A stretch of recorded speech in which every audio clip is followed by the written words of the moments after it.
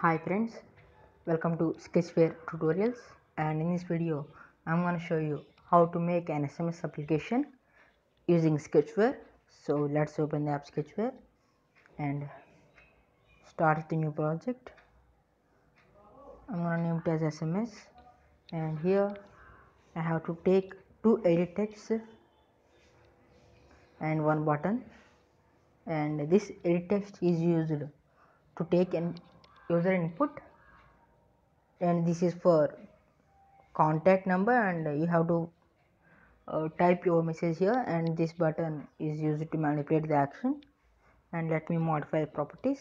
Layout width to match parent and text size to 25 sp and let me change the hint to enter contact number. Enter contact that's it and uh,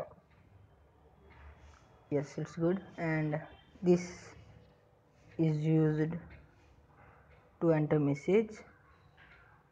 So enter message. That's it. And now this is the button to send message. So let me change it to send to 25 sp that's it let's move to the logic section now and when button 1 is clicked I have to perform the same intent action which is intent set action action view. And here you have to put the directory that is you have to set the data to send SMS so for that you have to add a directory. And the directory has a default value SMS and here you have to enter your mobile number. That is there in the text.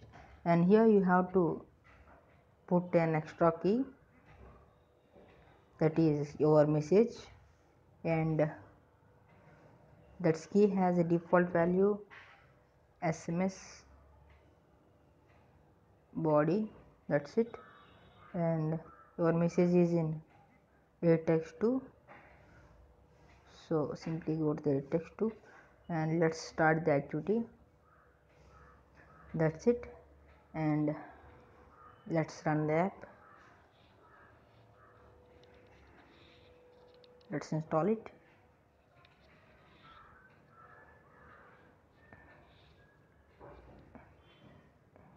and before opening it I have to close this app sketchware. I have to close this app sketchware and let me open the app now. And here as you can see enter contact number. So I'm entering the customer care number and now I'm gonna type my message here 198 and sketch it that is and let's press this send button. And here as you can see at the top part of the contacts part uh, the number which is entered is there and here at the messaging part the message which is entered by me is appeared here. And you have to select the sim from which you have to send your message and simply tap it here send that's it. And your message will be successfully sent. Uh, there is no balance in my uh, Airtel phone that's why it's not sending.